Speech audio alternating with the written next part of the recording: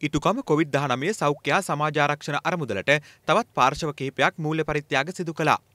සුරාබදු දෙපාර්තමේන්තුව රුපියල් ලක්ෂ 35ක් පරිත්‍යාග කර තිබෙනවා.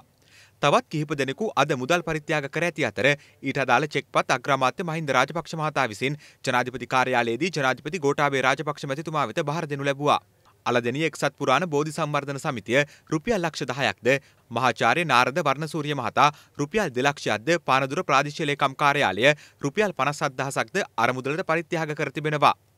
මීරිගම රාජපක්ෂ උකස් මධ්‍යස්ථානය රුපියල් ලක්ෂ පහක්ද කනිත තෙල් සම්පත් සංවර්ධන අමාත්‍යංශයේ නිලධාරීන් රුපියල් 33000ක්ද අපනයන කුෂිකර්ම දෙපාර්තමේන්තුව රුපියල් 9 ලක්ෂයක්ද ලබා දී තිබෙනවා.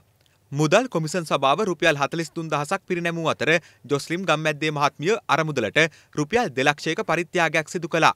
චෙක්පත්තෝ ටෙලිග්‍රාප් සම්පේෂණ මගින් මෙන්ම www.itukama.lk වෙබ් අඩවිය ඔස්සේ හෝ හැෂ් දෙසිය හතයි හැෂ් සමතා අරමුදලට දායක විය හැකියි.